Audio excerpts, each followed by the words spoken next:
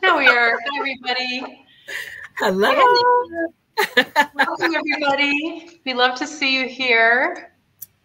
And uh, let us know your name and, well, your name is there, and let us know where you're uh, joining us from.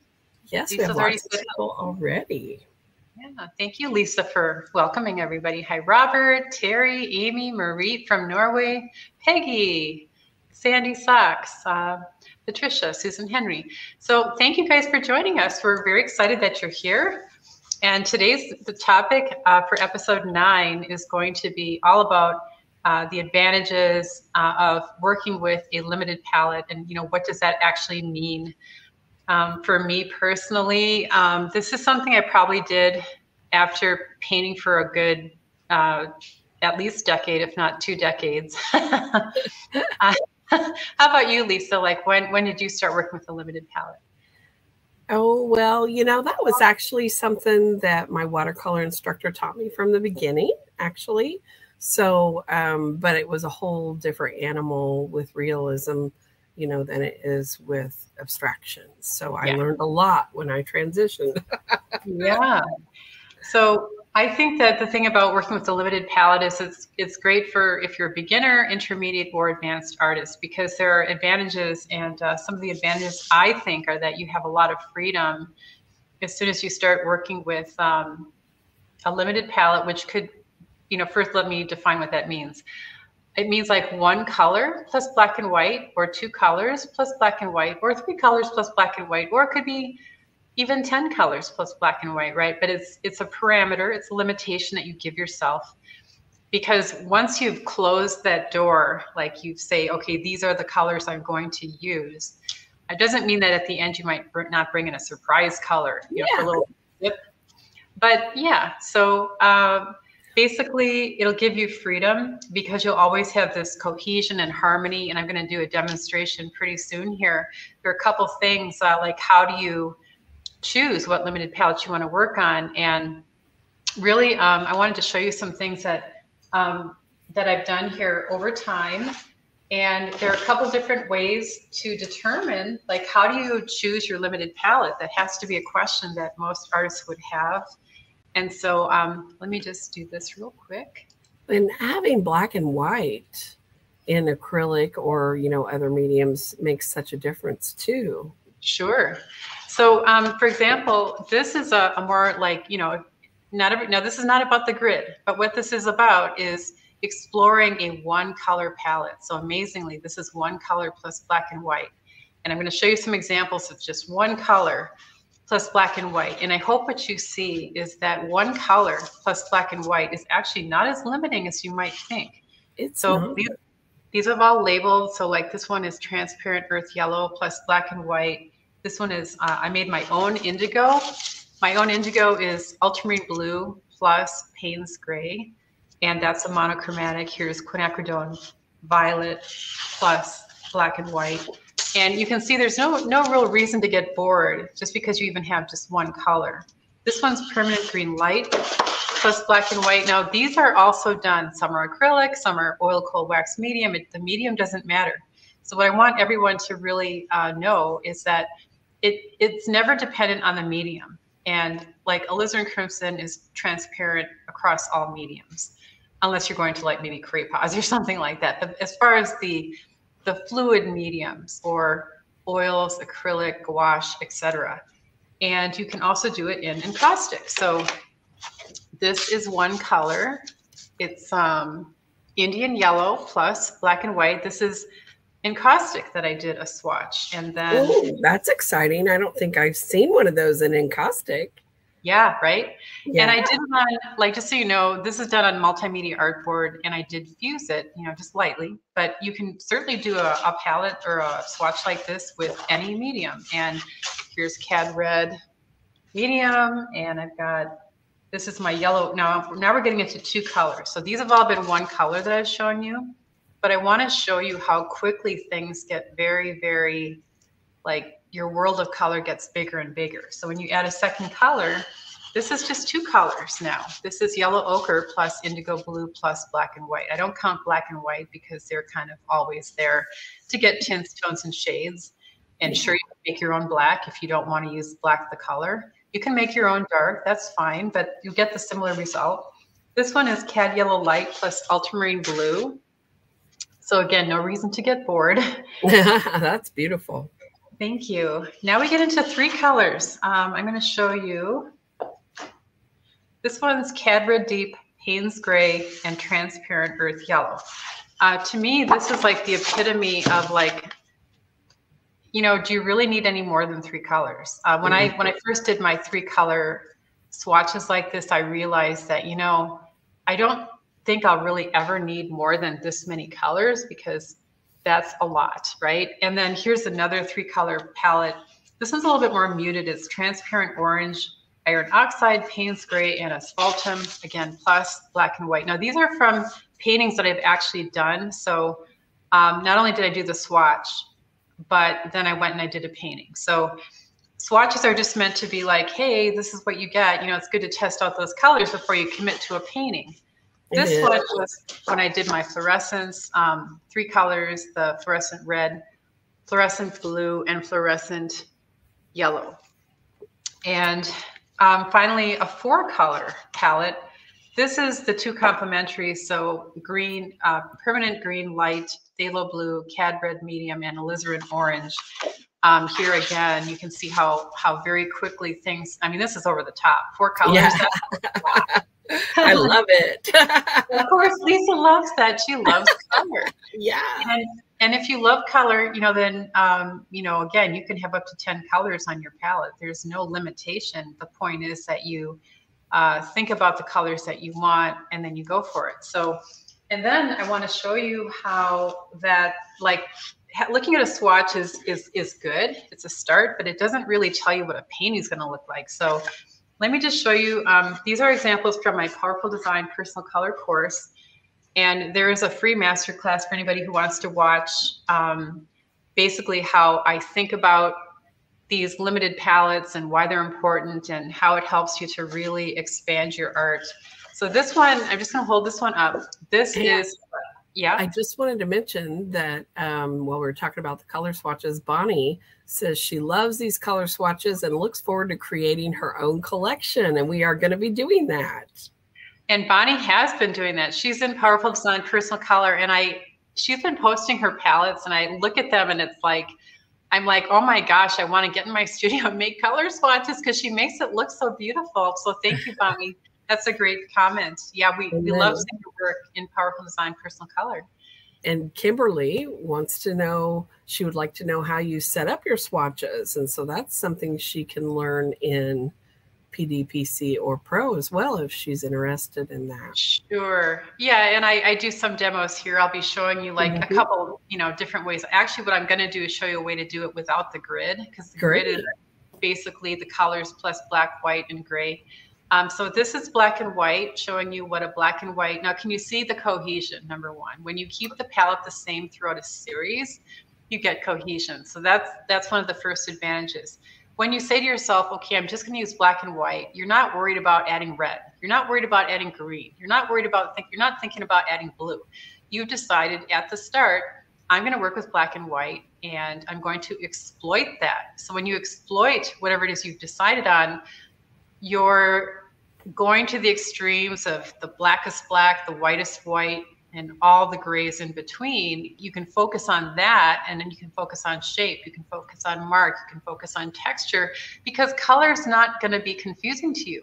That's a huge advantage for any beginning artist.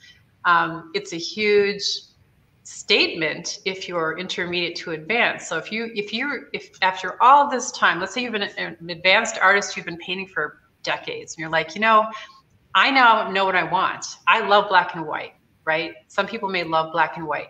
They may want to do a whole series that's just black and white, or maybe they've explored a monochromatic palette. That would be one color plus black and white. So no reason to be bored, but every reason to find those few colors that you really respond to. Like let's say that it happens to be the cool colors, or maybe it's a warm color, but this type of thing and doing a lot of it will help you really find that personal voice um, because you're going to respond you're going to be emotional like you might be like oh my gosh i i love how this magenta color is making me feel. Um, this one would be two colors now. So this is one color plus black and white. This is two colors plus black and white. Again, cohesion mm -hmm. is just a given. You, it's so a given. pretty. Thank you, Lisa. I did these ages ago. I did these back in 2018, but I saved them because this is what I, you watch over my shoulder in Powerful Design, Personal Color, and I create all of these 16 paintings. So it's all about working in a series with a limited palette. And then this one is three colors. So you can see how the, the whole complexity of your painting, yeah, it gets a little bit more, but there's cohesion. And then this is just a random one I did with another limited palette. So again, when you limit your colors, you can focus on the things you really, other things you really care about, like what about shape? What about big shapes? You know, what about tiny mark making, right? So you can, uh, it's a question of limiting your variables so that you can focus in on something and really dive down deeply to figure out what you want to do. So I just want to show you that that's how a swatch relates to the painting. So now let me go to my table. Any questions or comments, Lisa, about that? Um, well, uh, Marie asked about the free masterclass. So I was going to get that link put up there because you're talking about this wonderful thing stuff that, you know, you teach in that. And um, so I want to be sure that people can right. get to that, right? there's a free masterclass, you guys. It, it basically talks about my three stages that I use that I that I shared with uh, students in Powerful Design, Personal Color, as well as Art Success Masters, that really um, shows you basically how I figured out how to trick my left brain into like leaving me alone so I could really focus on being creative. And I found that when I shared this with other artists, it's just three ways, three different mindsets, three different ways of thinking as you create your painting from beginning to end. That artists that I worked with could relate to it. They could start playfully. They could move forward with a little bit of thought, and then they could they could actually finish their paintings by clarifying. So I have a free master class. Lisa can provide that link in the chat if she can do that. Yeah, I and think I got it. Okay, what I'm going to do now is show you my um, my desktop here. So let's just um, add this to the screen. Yeah make it the solo layout. So here, guys, I'm working oil and cold wax medium, but like I showed you with the swatches, I want to point out that it does not matter what medium you work in, okay? Um, in fact, the more mediums you work in, and I know a lot of you out there do, that's actually a good thing um, if you want. It's, there's nothing wrong with that. Uh, some of your work in acrylic may look a little different from your work in oil and cold wax medium, but don't worry because it's all you. Now, how do you know what colors to limit yourself to? That's got to be a question that you have, right? Like, because do I start with one color, two colors, three colors? Well, I'm going to demonstrate right now um, a palette that I've actually never used together. I don't know what will result here, but I will tell you what the colors are. Here's my black, here's my white, here's my yellow ochre. I made my own indigo with ultramarine blue plus Payne's gray. And I've got quinacridone red. Now I've never used these colors together as a painting. Uh, and I chose these kind of randomly, sort of, but um, obviously it's kind of like a primary palette or three colors. It's got the yellow, the blue, and the red. But obviously it's not the, you know, the real close to the primaries. Now I have a little bit of cold wax medium next to each color because, uh-oh, what if I forget to mix it in? And I don't really want to do that. I don't want to forget. So what I do is as soon as I put the little color out, I put a little dab of the cold wax medium and it is mixed with the Galkyd gel in a one to three proportion. If you have any questions about that, go back to the very first episode one and I show you exactly how I mix that. Here's my black. Again, I, I'm just, even with my little swatch here, um, it's good to just add that cold wax medium. It will dry faster. And here is my indigo, lovely color. Because I mixed it myself, you, you can go a little bit bluer or a little bit darker. And I do tend to have um, a lot of palette knives going at one time just because for this demo, I don't have to clean every time I switch colors. But if um, I wasn't doing a demo, I wouldn't have to be having so many palette knives. So don't think you need this many. Now what I'm gonna do, I've mixed those colors, right? Now, you don't have to go full blown onto a, a fancy canvas or panel or whatever. You can start to play uh, with these colors and see how they interact. Now I showed you the grid. That's one way to do a swatch, right? And a swatch is simply all the possible color combinations you can get from whatever limited palette you've chosen. Now here is, I'm gonna put down some yellow ochre here, like this. Um, I'm gonna just sort of play. I'm not gonna worry about it being a grid. Then I'm gonna take some of this beautiful indigo and I can see how dark it is, right? So this is an example of what I might do to decide whether I even want to use these three colors together on a more expensive panel. This is a sheet of Arches oil paper. And I'm saying to myself, okay, well, I've never combined these colors before. Let's see what happens. Now I'm adding a little bit of white to each color. And let's see with the red. Now, now I know what red and white does. That's a tint. And I've got my blue over here. Let's add a little bit of that. So even though this is not, it's not a grid, I'm still exploring my colors. Can you guys see how you can very quickly see at least what white does when you oh, combine oh, yeah. Yeah, so that, that in itself is a great thing to know. Now that I've done that, well, what happens if I combine, say, these two guys together? So I might scrape a bit of that together and mix them over here because look, it's the cross between these two that makes sense that I put it over here so I can kind of keep in my mind what I'm doing. Wow, what a gorgeous color. I never would have known these two colors. Oh, that. that's beautiful. I know, I love that. I've not known, I've not used quinacridone red, you guys, ever. So this is oh. I've used the other quinacridones like magenta and uh, see, quinacridone, nickel azo gold. Look at this. What a gorgeous Ooh. purple. I never would have known. Um, beautiful That's color there. Now, what about the blue and this yellow ochre and the indigo? So let me grab some Ooh. of that. Yeah, let's see what happens. Okay, that's a Great. lovely desaturated bluish greenish gray, blue green gray, right? So already I'm like, whoa, I love this palette. I didn't do a grid. Lisa doesn't like grids. I'm doing this in part to show her that hey, you don't have to do a grid. Uh, now I haven't even like begun to you know really exploit these colors because what about black? You know we haven't talked about shades, but I can add a little dab of this to any one of these colors and show you what happens. It's pretty cool. So I've shown you tints, which is plus white. I've shown you the plain color, and now I'm going to go into a shade. And that just means it's going darker. And Ooh. here, let's see what happens. They are so pretty. Aren't they? So now you get a feel for the dark, the light, the mid-tone. Set this down. What happens to this peachy coral color when I add some black? It's usually a surprise to me. Like I have no idea until I actually swatch it out on here. And I'll call this, this is just a different kind of swatch. Add a little bit more of this gold here. So you've got, you're adding black to the pure color, you're adding black to the tint, which already has white. And as soon as you add black and white, you've got a tone.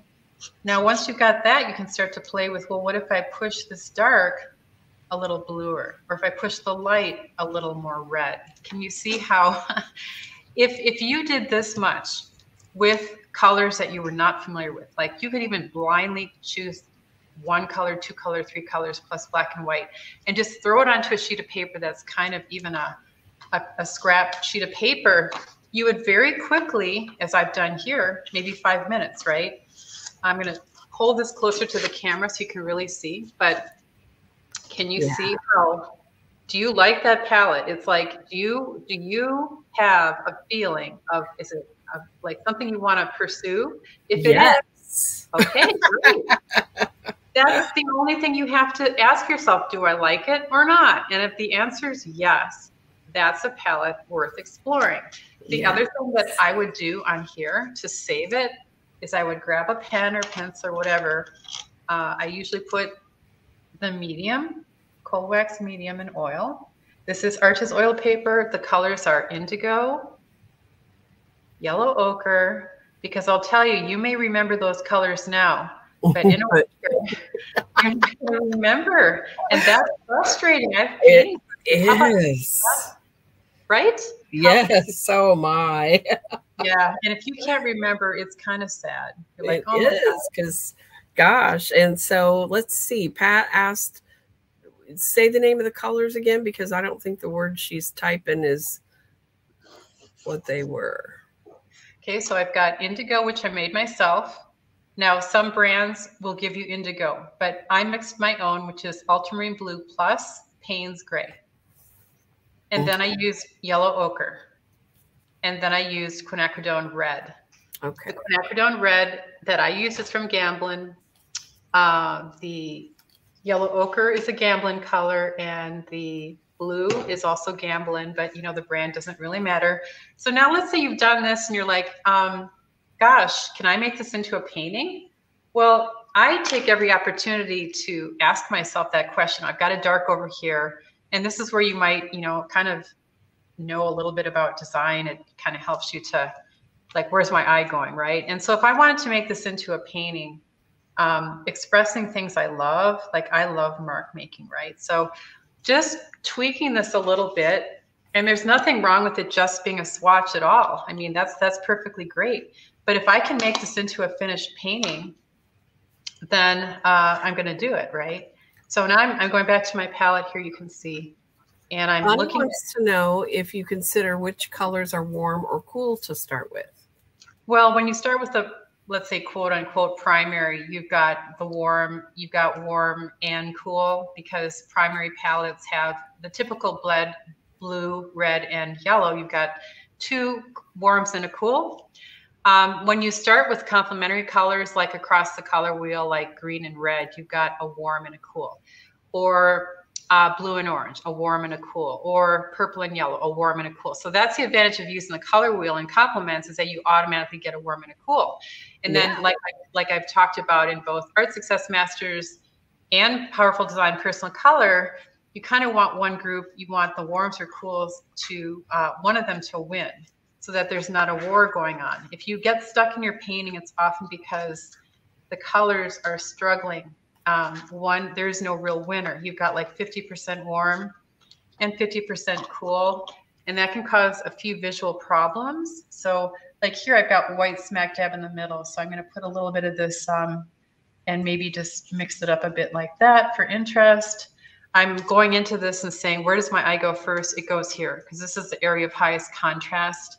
And um, I've just made a few marks here just with this silicone tool. Um, I've got this color here. So now I might blend it a little bit more, just repeating this beautiful color and maybe picking up a bit of that black line. And whatever happens, I'm prepared to work with it, right? So now I've picked up a bit of that indigo blue. It's coming into this little puddle. It's going darker because the indigo blue is so dark. And that's what I kind of would want because I don't want it to be too light. I want it to be mid-tone. So here's a mid-tone. All this is mid-tone except for this, which is really dark. Here's a little bit of dark. Now it's surrounded by white, which is the highest, lightest key you can possibly have. Um, so right now, without doing much of anything, um, I can come in with my pencil and uh, let's see here. Just to add a little bit more interest, I could go with the darker pencil. I even have an ArtGraf I could use. So I'm just showing you that even if you're, you know, doing this, you're, you're doing a swatch, it doesn't have to be boring. You know, it can be really fun. And um, I'm going to come into this white so it's not quite as, um, you know, I have to have my marks. So yes. come in like this. And then, you know, maybe a little bit of rectilinear because I don't have that.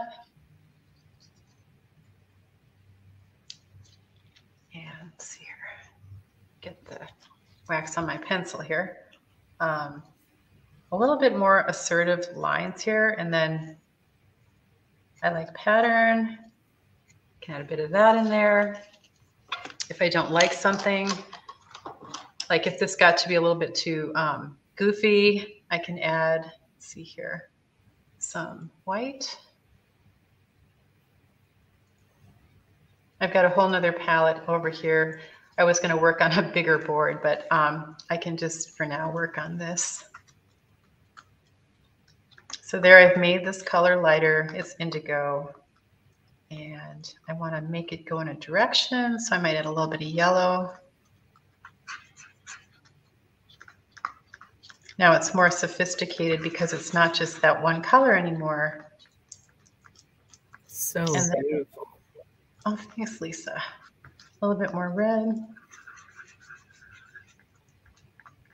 Very quickly, I've changed the nature of this color. And now I look at it on my palette. I do a lot, I do spend a lot of time just mixing colors. And I need a little bit more white. So I've got white on my other palette because I, I, I very quickly go through my white. That's just one thing that happens. So let me just. And be sure and ask questions if you have questions while Pam is doing this. Thanks, Lisa. So I'll add the white here. And I just want this to go a little lighter. So I'm going to mix that in. I'm just using my silicone tool. And Bonnie mentioned that she was wondering about a cool red versus a warm red, and same with blue and yellow. And but then she just answered her own question, excuse me, and says, "I guess you could just play around with this," which is actually the answer, right? It is, but you know, also when you when you you know, the more I guess the more you know about your colors, the more swatches you've made, etc. Yeah. The more you're going to know um, which are cool and which are warm. Because that's a good point, though. That um, just because it's red does not mean it's necessarily going to be a warm color. It can be a cool red. So everything's really relative, and um, those are all things that you can discover when you get into the painting part. And so I'm just playing around a little bit. Now, now that I've done this, you know, like this shape, I'm noticing is much like the size of that shape and this shape and this shape. So I might want to expand it out and get maybe a bit of a dry brush edge here. So now I'm getting this as sort of a dry brush.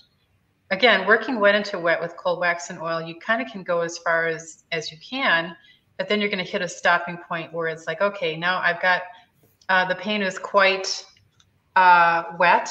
There's only so much I can do. Um, but when it is wet, like this because I've just done it. One of the few things you can get away with is um, monoprinting. So I wanted to show a little bit about that. I'm going to grab a sheet of deli paper off to the side here and just take, like I've got a gray here. So this is a kind of a mid-tone gray R&F pigment stick. Ooh. Really huge. And I love yeah. these. um, so That's big.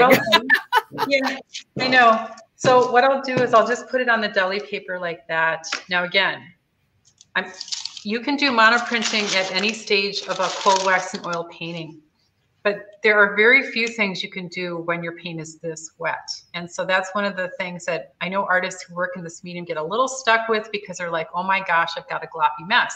And the reason is that you need to give it some time to set up before you go into most other techniques like brayering if I were to use a brayer right now on this, I would get a, a mess. And the reason is that this is very, very wet. Whereas if I'd done the brayer first on just the paper, that would have been fine. But the brayering is not good when you've got super wet cold wax and oil. So I do have a chart in my cold wax and oil course. I have a course on this that explains like when do you use certain techniques, when don't you use them, what do you get, when do you get the best results. So now I'm going to take this gray, and again, it's wet, so I don't know exactly how well this is, but I'm using a gentle touch. I'm not pressing really hard, um, but I do love the monoprint effect. And again, I don't really know how well this will transfer. I'm going to press a little harder when it's on the white paper and then just lightly lift this. So then I get this lovely, you know, I love um, texture and there is some paint left on the sheet even. Where might I, where might I want a little bit of that dark blue? So I look around the composition and say, hmm, where can I transfer that color? Maybe up here, right? It's just a little bit, I can press kind of hard and there it is. Um, I've also still got some gray on here. I didn't use it all up, so maybe I want to just use part of it. These are all decisions that you can make. Um, now I'm using my fingertips to really mush it in there, but I'm not doing the whole thing, not the whole shape. Now I've got a little echo of that, but it's smaller. So size becomes, uh, it's one of our design elements that we can always use to help us. And so I'm just gonna uh, probably keep this just in case. Now the gray also though, I could just um, take again, so I, I put this R&F pigment stick on here. There's still quite a bit of paint on there. If I lay it now going horizontally and I don't press on it, I just lay it down lightly and I take something to draw with, right? Because that's fun. And lift it up. Now it's just added a whisper of that gray. Uh, very quickly, you can develop these. You know, this began as a swatch, um, a very random swatch, like how do these colors work together? But I would say that if I did this and I, again, respond emotionally to it and say, wow, you know, I, I really like how these colors are working together. That would then give me the courage to mix a whole lot more paint and go into uh, a, an official painting. Like, but there's no reason why your swatch can't become an official painting, right? So anyways, I'll just show you a little close up of this. So any comments about that process of using this kind of method to develop a swatch? Do you like these colors? Uh, test the tints, tones, and shades. One color, two colors, or three colors plus black and white. There's no reason why you can't add the other things you love, like mark making, and maybe there's a special shape you like. Now, when this sets up too, I could easily come in with my masking and you know all that kind of stuff. And I mean, I could just do this all day. So, anyways, that's that one. We do have a couple of questions. Okay. Um, Leslie wanted to know how you do this for encaustic.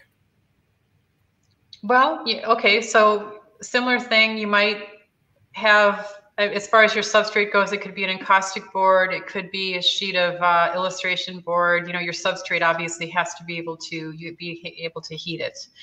Um, same thing. I mean, you know, you've got a hot palette, and what you see over here could be done on a hot palette, and that's exactly what I would do. Okay. I would have my, my, encaustic board, and I would mix up all of these values here and, and combinations, and do a swatch here, and do a little bit of paint there, and add my mark making. It would look pretty close to this. So again, don't let, don't let the medium stop you guys from you know exploring all these things that you really the color. Uh, being able to understand color in all of these different media uh, require that you do test out these colors and how they combine. Any other questions? Um, let's see. We have a couple questions, but not necessarily about this. Do you want to answer those or wait till the end? Um, you can sure they can. You can ask them now while it's fresh. Okay, great. Um, Amy wondered about pouring the acrylics into squeeze bottles she does not do so well with that. Do you use a funnel or anything to get those from the big containers to the squeeze bottles? you just asked me that the other day. Yes, I do use a funnel. So a funnel is, you know, like it's great, works great. Ah, okay. There you go, a funnel. Okay, and then um, so let's see here. Pat is asking about a fourth color, and I don't know how to pronounce it. Asphaltum. Asphaltum, yeah. Right. So what's the question? Um, what is that fourth color? I think is what that was. Oh, asphaltum. Yes, asphaltum. Um, A S P H A L T U M. I believe that's made by Gamblin, and I'm not sure that comes in a R&F pigment stick. I don't really think that one does. Somebody out there, if you know, you can correct me on that. But um, what color is that? I mean, is it? Oh, I've never heard of it. Like a, like a dark brown. Oh. Yeah. Okay, great. okay, and then um let's see. There are people are mentioning how they are loving what you're doing though. Pam, sorry about that. Just yeah. had those questions I had to find before they were gone. Okay. So, yeah. Okay. Well, the next step, thank you, Lisa. I really appreciate that.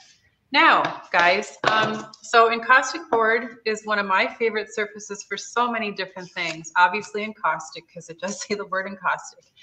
And these boards are made by Ampersand, and uh, they come in all different sizes, and they've got so many different types of surfaces, uh, even scratch board. They've got boards for water media. They're called aqua boards. They've got uh, boards for pastel. Encaustic board is good for encaustic and oil and cold wax and acrylic, gouache. So I like this board because it can be used for so many different things. And it comes wrapped in plastic. And I'm just gonna uh, cut through here. And it's all, it's got this beautiful composite board here. And it has a beautifully gessoed, it's pre-gessoed, so you don't have to put any gesso over the top. And it is R&F gesso. So they have uh, gotten together with R&F Paints and they've gessoed the surface already for you. There is no more like, to me, this is like the ultimate beautiful surface. And what I want to show you then is I'm going to like kind of move this palette out of the way. But first I want to just transfer any paint that's on here and kind of reuse it. So this is my indigo blue and I'm going to show you this in a second that I have another palette. When you when you decide that when you commit to a palette and you're like, okay, I really want to use this palette now, okay, um, then you're going to need more space. That's the first thing. And I'm not even scaling up much from that little sample piece that I showed you. But this is 12 by 12. And I'm going to move my mixed up. Again, this is sorry, I'm just going to do this so that I can make the most of my paint. So that's pretty good. So I'm going to use the same palette knives and, and to clean, some people have asked me, how do you clean your tools if you're working with oil and cold wax medium? All you really need is cooking oil. Okay, cheapest yeah. cooking oil you can find. No, you don't need extra light olive oil, extra virgin olive oil, anything like that. Don't go doing that. You just need regular oil. I'm going to move these knives over. Do you know if uh, the encaustic boards, um, if they ship to other countries like Iceland? Boy, I think that they might, but I, I'm not really sure. They are a family-owned company, and they they are in Buda, Texas. Uh, that's a great question. I'm sorry, I don't know the answer. But they can probably call or email them easily because they are very responsive. Yeah, they really are. So thanks for the question and I definitely would check with them. They they have these mini boards that I absolutely love. They're like trading cards and I just did a demo with my encaustic showing how I explored harmony. so that's going to be my painting with fire 2023 um, um, the person asking about the putting in squirt bottles do you use the Nova in the squirt bottles? Do you add any medium to it? Um, and you don't use the heavy body in squirt bottles, thinning it down. You just use the um, fluid and all that, right? Correct. Yes. So I use Nova Colors um, almost exclusively. I don't really get into the heavy body acrylics. Um, you know, I I could. I have some fluids, but I, again, I just don't do a whole lot of that. And so what I want to show you guys here is my setup. This is a bigger palette. So right off the bat, this is my little test palette, right? Now I've gotten almost all the paint off of here. And, uh, you know, because I'm a person who doesn't like to waste paint, um, why not? This, this is going to be a painting. um, there's no reason why you can't have fun. Um, in fact, that's how I start all of my paintings with fun. oh, that's great. Yeah. yeah no. um, okay, so what I want to show you guys, I have mixed in my cold wax medium with this paint. And I put a little dollop of cold wax medium next to any paint. The minute I squirt out a, a fresh oil paint, I put a little dollop of cold wax medium so I don't forget. Because once it's like once it's mixed in, you can't really tell too easily if you've mixed it in or not. And that can be a problem. Like, did I add it or not? So I just put that little dollop there to remind me that, hey, you better mix it in. Now that I've mixed it in, I don't have to worry. This is my indigo. What happens is the one way you can kind of tell is that it gets more stiff, um, more like frosting. It's not as oily. That's one way you can kind of tell. But aside from that, if you don't remember if you added it, it's kind of a guessing game. So notice I've got the same colors that I just did that little practice piece with. This is my yellow ochre. And now what I might do is I've put some of this paint on here, as you can see. And this, what I want to show you now is number one, I'm working with a limited palette, but number two, I am going to play.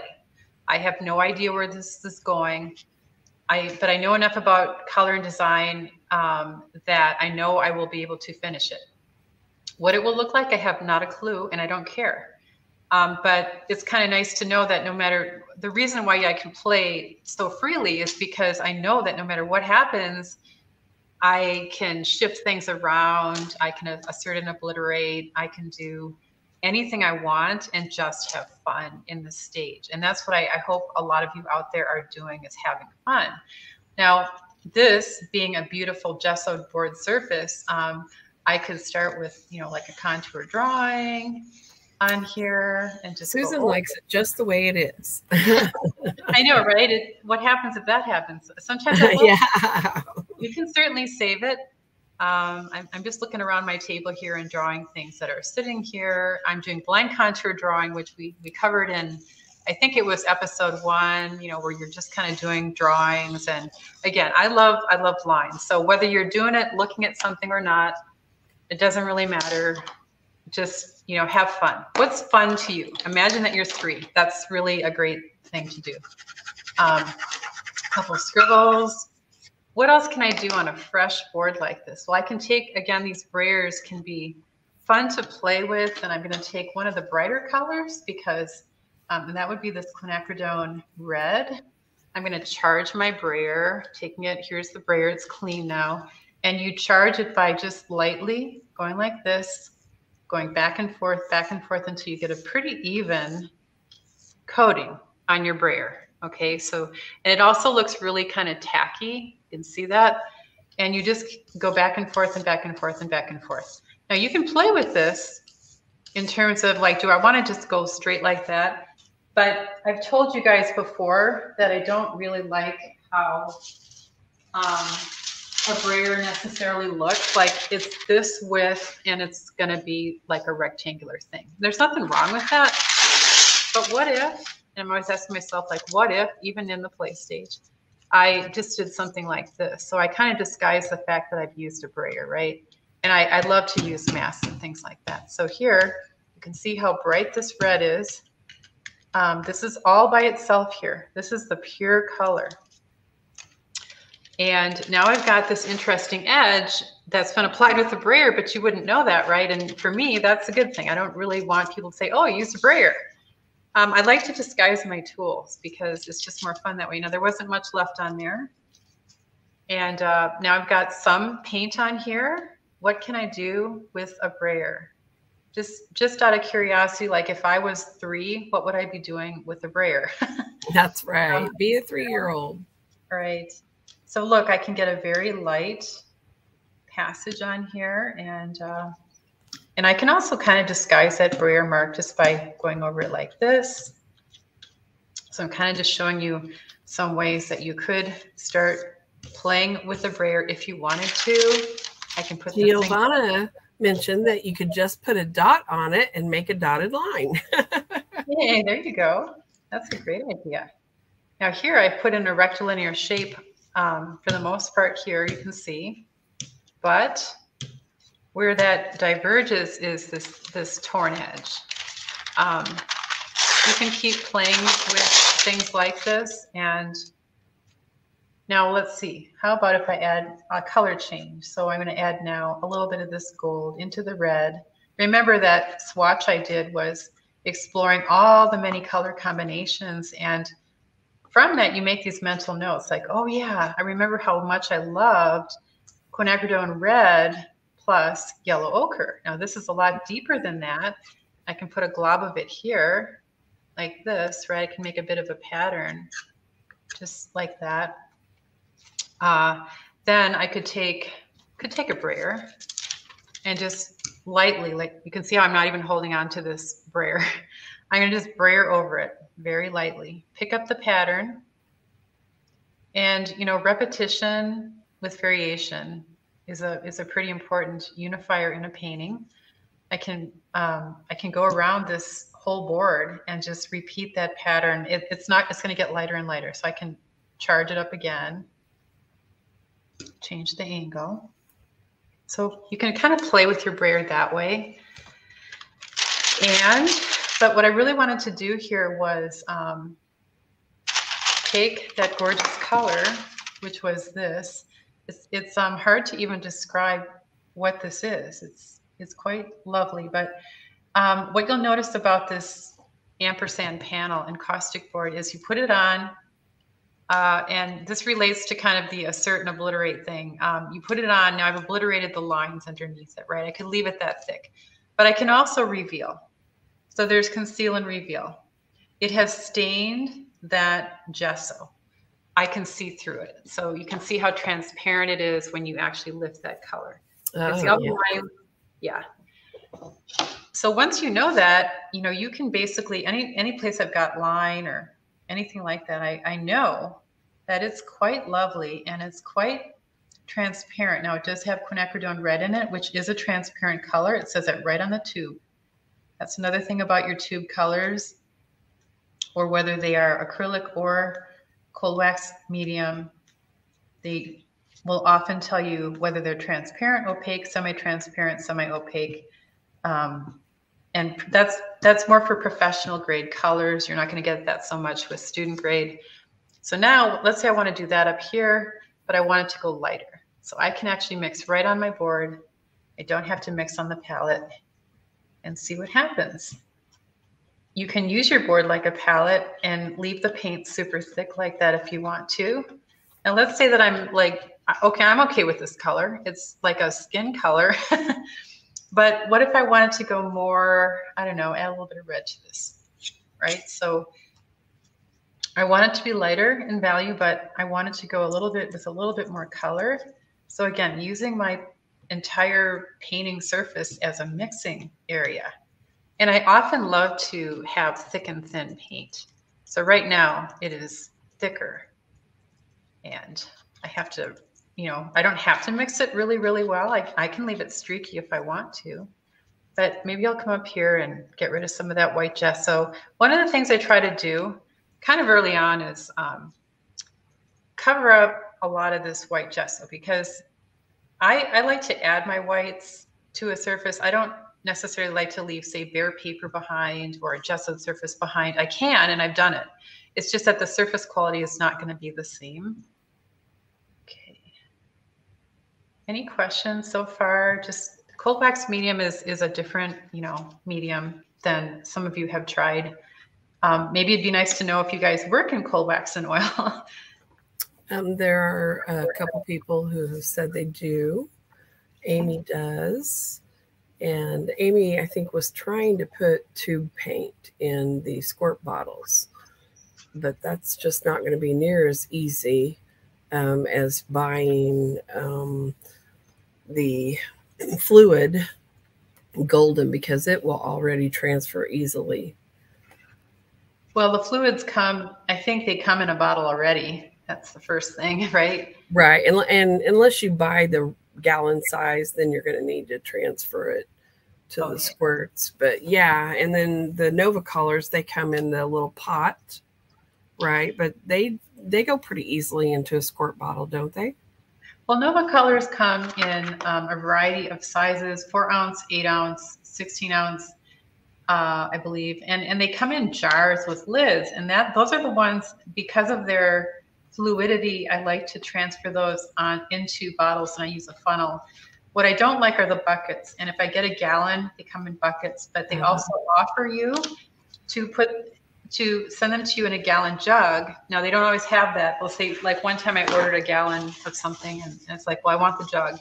And then they got back to me and they're like, sorry, we, we don't have the jug. Do you want the bucket? And I was like, okay, I'll take the bucket. But I mean, I just don't like the bucket as much um, because it you've got a lid on it and it's hard to pour. Um, so that's why I will transfer that into a gallon plastic jug and you just order those on Amazon or wherever you can get them. You know, they're they're not that hard to find. Do yeah. you thin Nova colors with anything or do you just use it straight from the squirt bottle then after you've poured it from the bucket?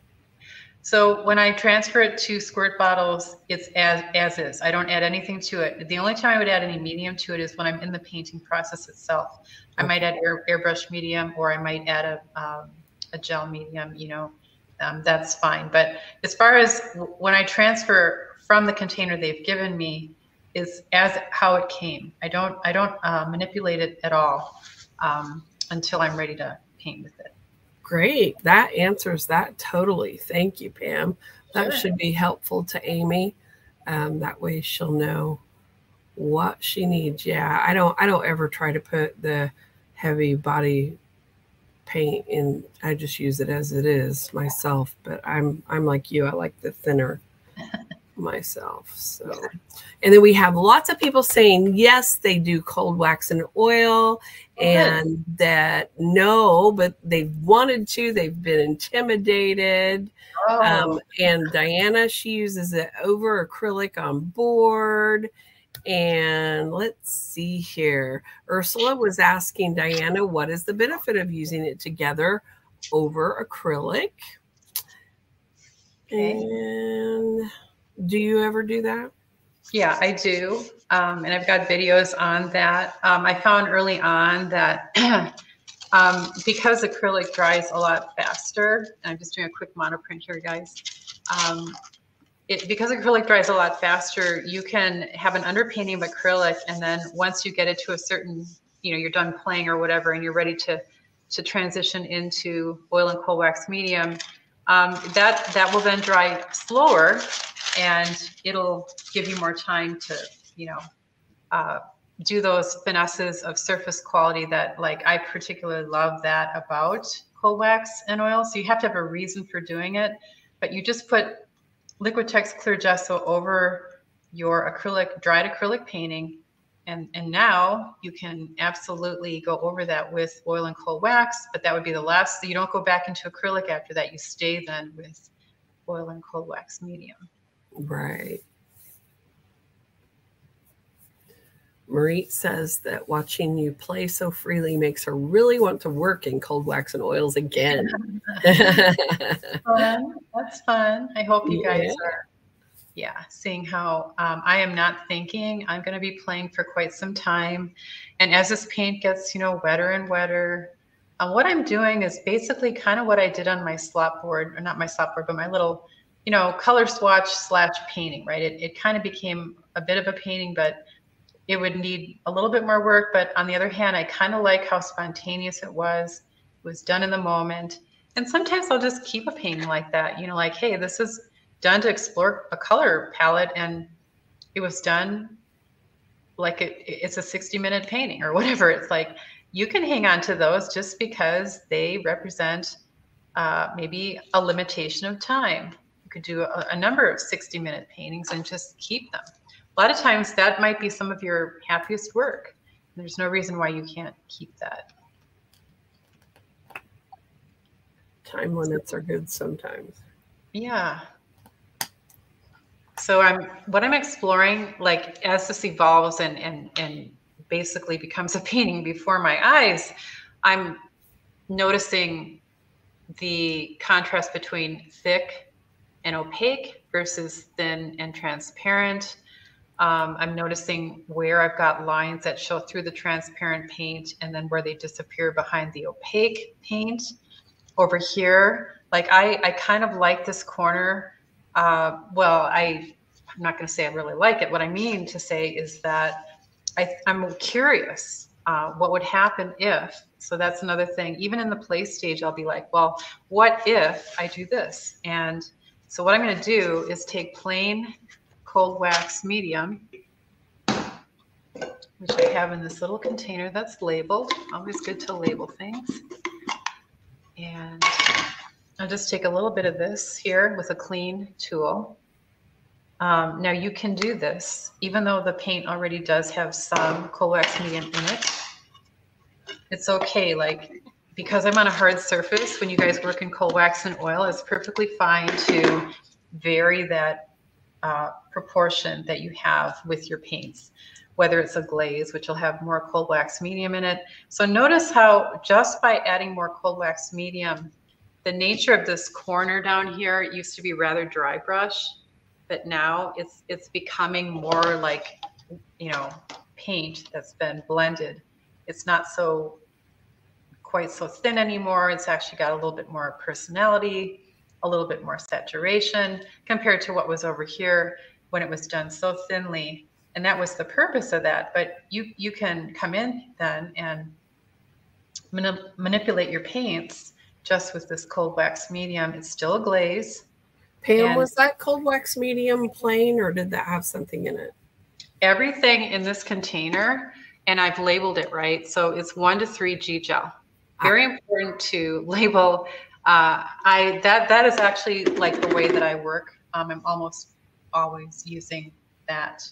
Now I can come into this corner now and say, okay, well, I've just added some cold wax medium to it and it's okay, but maybe I want something a little different. So you can see right now this painting is leaning toward the warms and I have to say, do I do I react to this emotionally? Like I'm still playing and everything, but I could shift this to the cools. But right now I'm kind of just enjoying the palette and because for whatever reason it's it's starting to be more predominantly warm.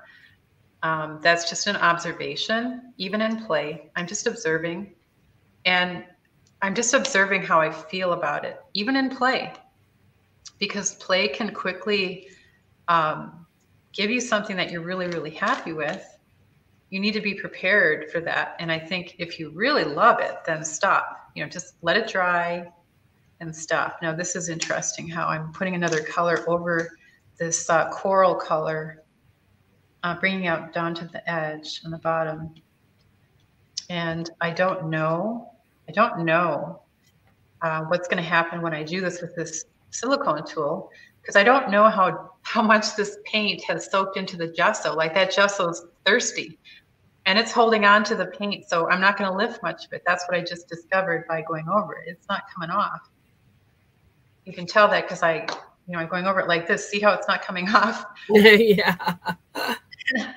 that's cool. That's cool. That's good to know. Like, well, does this come off? Does does this come off? Um, so again, you, it, it's a question of like um, conceal and reveal. So what I know about this then, as I play with this paint, is I can probably take um, take a skewer, take the, the broad end of a skewer and draw into this even additional lines because, and that can stay or not, you know, doesn't really matter. I can come over here. Now this, these marks here will probably um, smudge. So because they're wet, if I, I'm to put this down here. Now you can work directly into this with R&F pigment sticks as well. So let me see here. I've got gray, white. I, have matched the palette. So I've got quinacridone red here. And it's playing.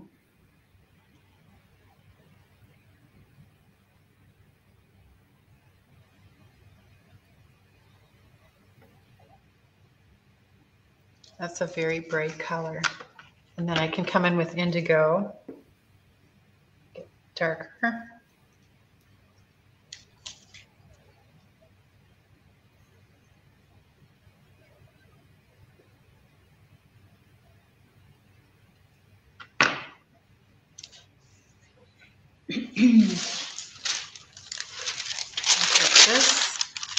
I like how juicy that is, but I'm just gonna lightly go over this. And you see it's very light on the paper. Maybe I want it up here, going in a different direction. Now this is wet over wet. Again, not a whole lot I can do when the paint is this wet, and especially, yeah, it didn't show up very well, but that's okay. What I could do is draw directly on here.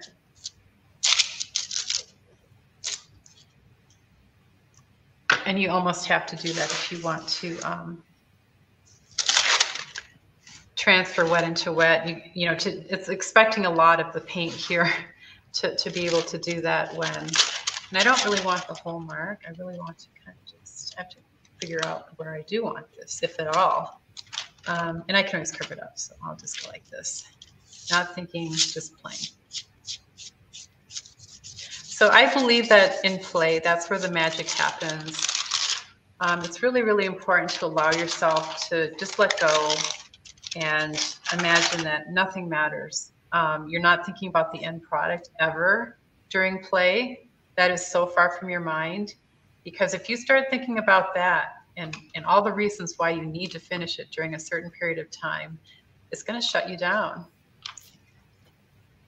All right. Um, Pam, I can't remember. Do you list your colors and uh, things that you're using under the video for each video?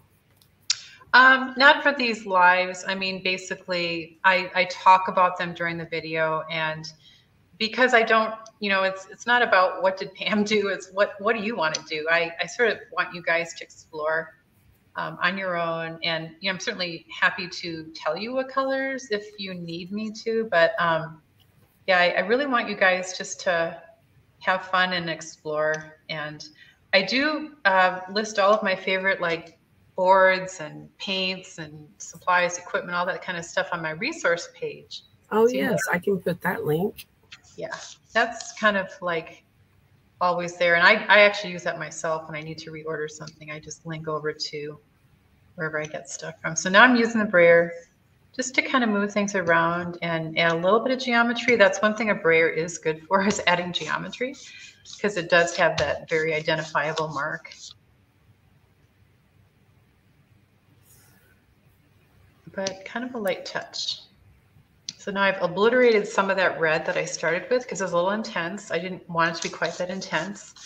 And then I can come in and brayer in another color, like grab some of that other color and mix it here.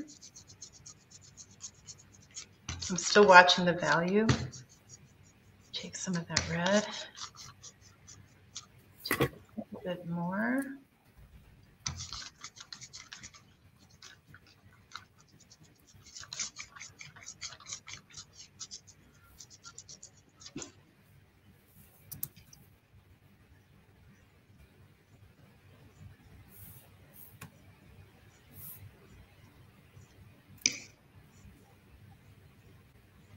You can kind of see how, um, even though I started uh, this little upper corner here with um, the mask and everything, that's pretty much gone. And I can come in here now. It's it's amazing. You can't see what I see, but uh, by going over a certain area that it's wet, but if I come in with a brayer over it, now the value is the same, the color's the same, everything, but but going over a little section with a brayer, uh, if you could see this close up, there is a different surface quality. It's it's much more solid of a color. And these little solid areas um, really give your eye like a resting place. So that's just an observation. Um, Sarah mentioned that she's surprised how much she likes the soft colors. Mm-hmm. Cool. Yeah, like I have not used this palette before, so for me, it's all new. I like to say that I am a beginner because every time I paint, I'm beginning something new that I've never done before. And if I'm not doing something new that I've never done before, then I'm usually just not as happy. How about you, Lisa? Yep, got to be messing around trying new stuff. Yeah, see, now I'm doing this. I get bored, right? Yeah. Let's see, I'm hunting for the resource link. Okay, I keep forgetting what I'm doing, answering questions. yeah, it's, well, it's just artandsuccess.com slash resources. It's pretty easy. there you go. Um, yeah, no, I don't have a lot of blue in here, so that might be the next place that I go is start to add some blue into this mixture here. Use my brayer to get things going a little bit and and even though you don't haven't used this palette you do use um, the sophisticated complex colors all the time i would say that i'm always uh, for the most part, looking at mixtures rather than the, the solid color. This was a solid color, but notice how quickly I covered it up because I quickly felt like, wow, that's really intense. Um, so and a little bit of this color here. This is my cool.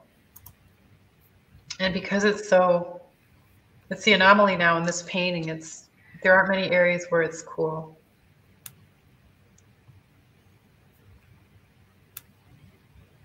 I'm kind of watching the size of the shape. What's the shape doing? Even in play.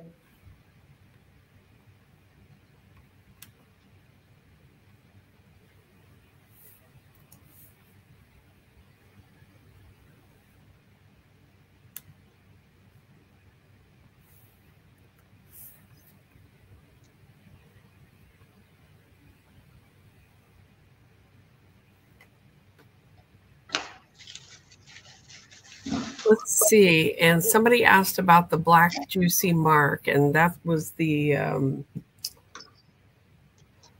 Marabu, right?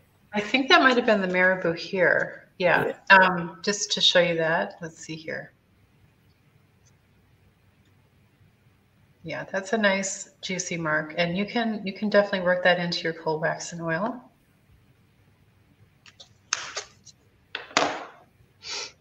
And now I've got white. I've got this gray again. So now most of my, um, well, the monoprint was actually another painting. So let me just try a little bit more of that.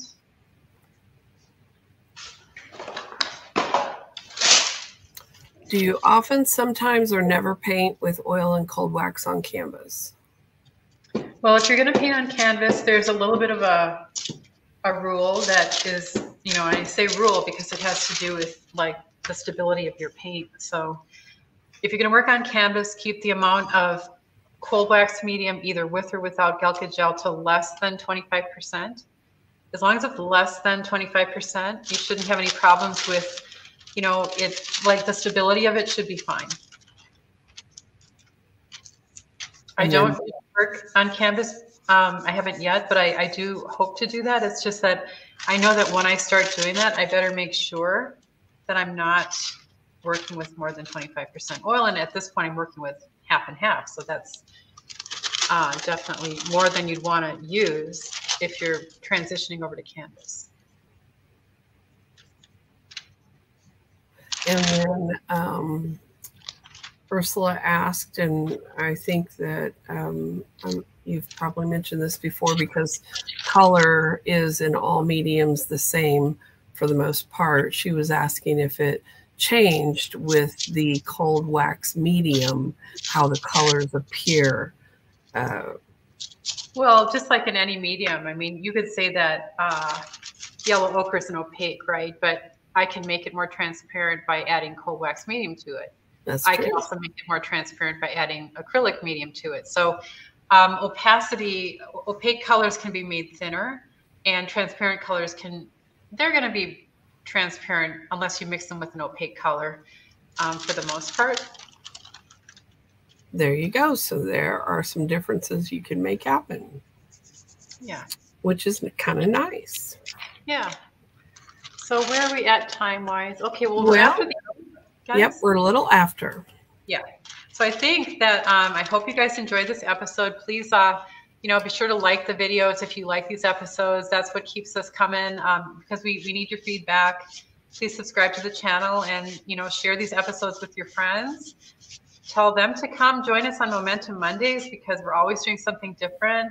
Hopefully, uh, topics that you're interested in. And in the comment section below, let us know if there's a topic you're really like, really want us to do something about. And uh, Lisa and I will do our hardest uh, do our hardest to get uh, that topic into one of our episodes. Yeah. Okay thanks everybody. We really appreciate you being here and hope yes. you have a wonderful week after our momentum monday. Yes. Bye everybody. Bye